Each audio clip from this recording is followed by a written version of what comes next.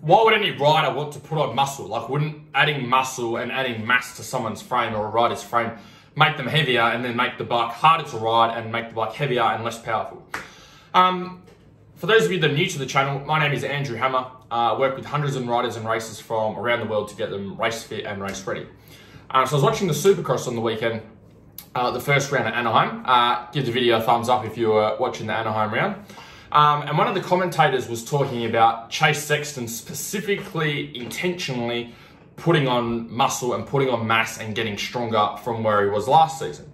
Now, watching that, a lot of you are probably thinking, like, why the hell would he want to get bigger?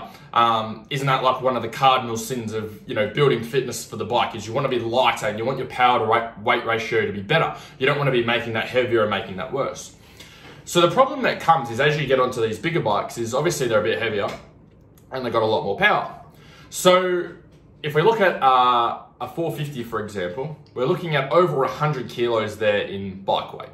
And then on top of that, you've got the rider. So you, let's say for you, you might weigh about 80 kilos, right? So you got a 100 kilo bike, 80 kilo rider, we add those two together, that's a total of 180 kilos that you need to be able to fight or that you need to be able to wrestle. Now, Chase and his team know that, okay? They know that there's no way of building strength to be able to muscle a bike around like a 450 without actually doing some weight work and getting a little bit bigger and getting stronger. And so the reason that he does that, and the reason that all riders should be doing that, is because the stronger you can get yourself, the lighter the bike's gonna feel. And the lighter you can get the bike to feel, the less energy and less effort you're going to use.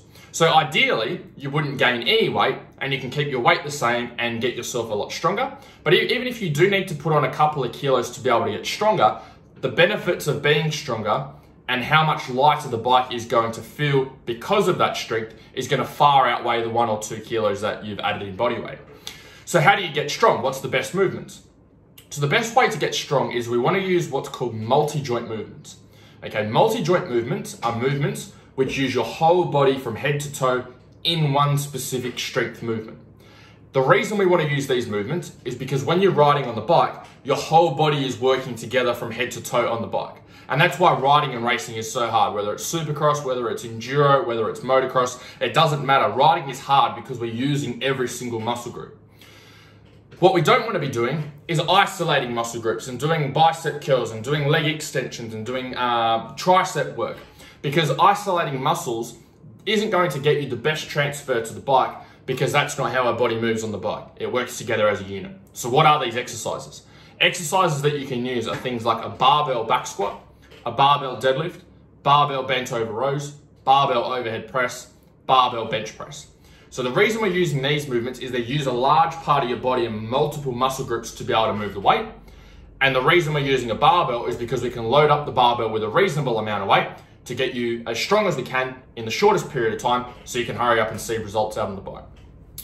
Um, if you'd like an, an, example of some other workouts that I recommend for our riders, um, I'll put the link for my free motocross rowing workouts that you can test out with your next training session. I'll put the link below. Um, and likewise, if you'd like to work together, I'll put the application link below as well.